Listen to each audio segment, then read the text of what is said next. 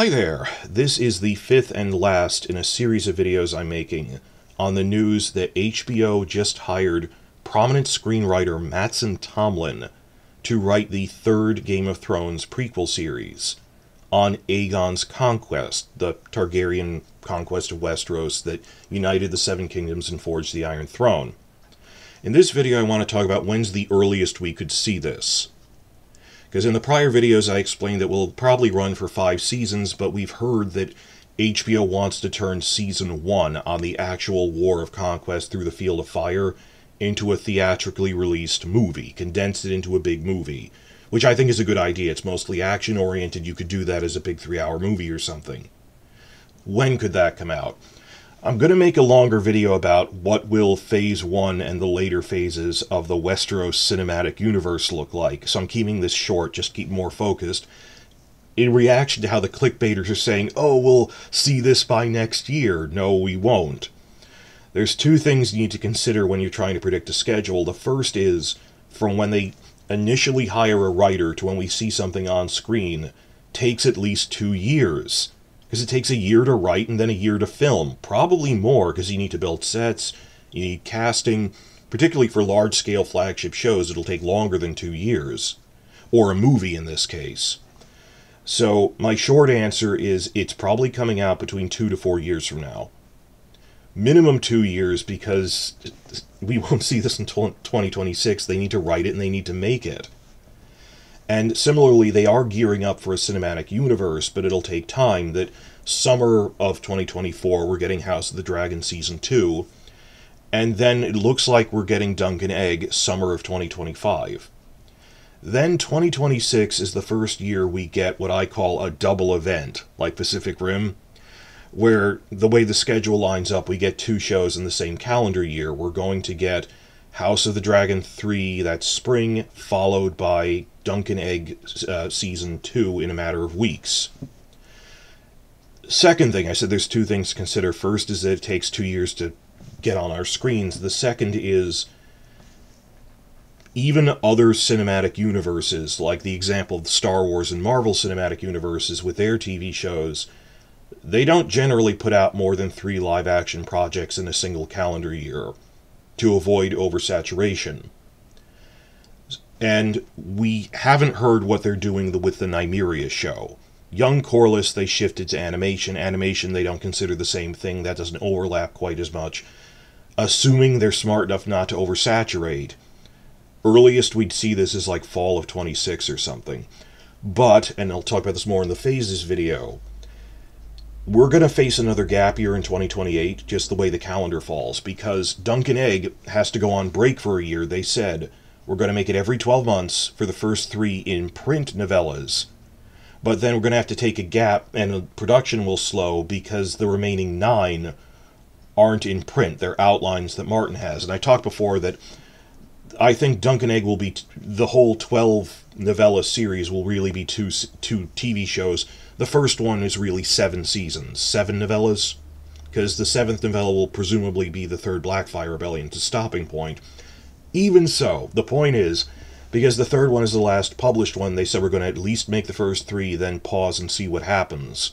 And it'll be slower to make the fourth one on the She Wolves of Winterfell. We're looking at a gap year for Dunk and Egg in 2028. And similarly, because House of the Dragon is a bigger show, takes a year and a half to make, Season 4 would come out fall of 2027, meaning at best Season 5 comes out spring of 2029, and we think Season 5 is The Hour of the Wolf. But regardless of what it is, it, it would come out that spring, just the way the calendar falls between these things. So, 2028 calendar year, we wouldn't have Dunk and Egg or House of the Dragon. And by that point, I think Phase 1, essentially, the flagship show, is House of the Dragon, but Phase 2 would shift to the flagship show being Aegon's Conquest. And that, okay, that basically season 4 is a chapter break for the Dance of the Dragons. The Hour of the Wolf is really getting into the Regency era. I think that 2028 is when they have this big shift to Aegon's Conquest as a big theatrical movie, summer of 2028, will be a great way to launch it because they don't have any other projects ready. The X factor in this is when are they sliding Nymeria into the schedule because there is space late 2026, early 2027. Where are they going to put Nymeria in that gap or are they going to put Aegon's Conquest in that gap? Like, you don't think of it as a Christmas movie, but then again, like Avatar 2 and Dune were coming out in the Christmas seasons and Lord of the Rings movies, I guess. So, not exactly a family friendly movie, but like Dune came out at Christmas. I think Christmas season, fall at best, 2026 at the earliest. But if they want to do it right, because movies take longer, because of all the effects and the, the, the scale, and because they need to write the damn thing and cast it, usually you think like three years, but four years might be a little long. But what else would they have to fill the gap in 2028? I don't know. But I'm telling you, bare minimum, you are not seeing this in 2025. Just that the production takes that long. I'm going to make a bigger video about the ongoing phases. There's going to be at least three phases through the next 20 years until they run out of ideas. Just every potential prequel, when would they overlap? When would that fit in? That's going to be a longer video.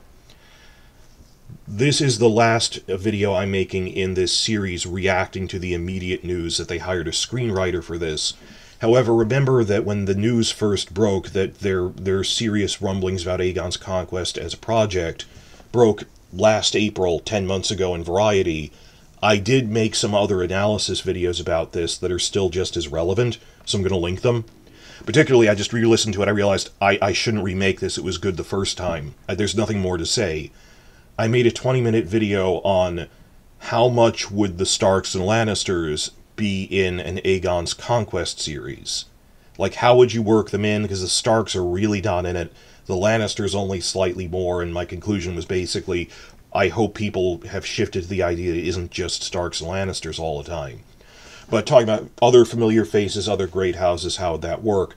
So I'm going to make this as, I'm going to split it off as a separate playlist now that we know it's a real project from I had a playlist on other prequel projects in various stages of discussion. There's enough on Aegon's Conquest, I'll split that off.